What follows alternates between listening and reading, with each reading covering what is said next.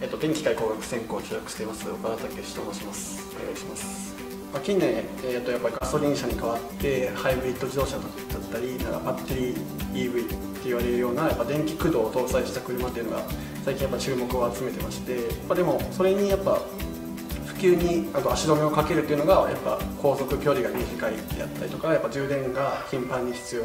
っていうのがやっぱ問題点になってるという背景から私はやっぱこう、まあ、効率が良くて軽くて、まあ、出力が大きいようなっていうのモーターの研究開発を進めております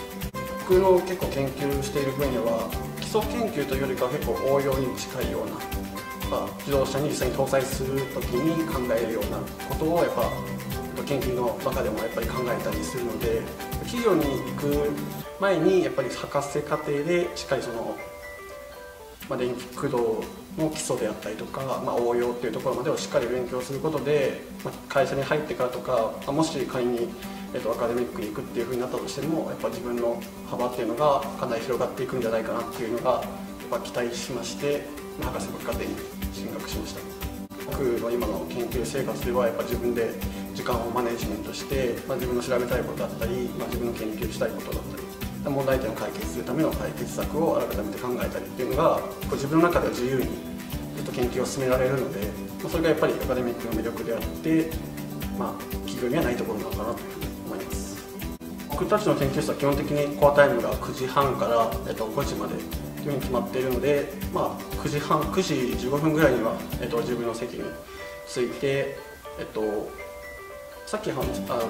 僕はモーターに関する研究を、えっと、しているんですけども、まあ、モーターは基本的に実験で、まあ、特性を確認したりとか、まあ、解析で確認したりという、まあ、2パターンが、えっと、路線としてあるので、まあ、朝来てまずメールと解析があれば解析の結果を確認する。っていうところで朝は基本的に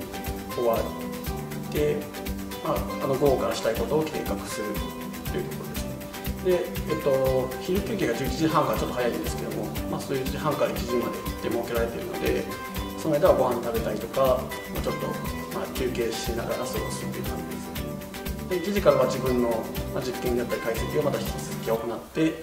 で、えっと、少し時間が落ち着いたら、えっと、周りの人の、えっと、研究の進捗を確認したりとか、まあ、今日やることはしていることを確認する、まあ、今博士課程で勉強したことっていうのはもちろん、えっと、企業に入っても絶対に、えっとまあ、活かせるようなことばかりだと思ってますし、まあ、まず卒業して、えっと、自分の博士課程として、まあ、卒業するだけじゃなくて、まあ、自分の博士としてのセータスを示すことができるような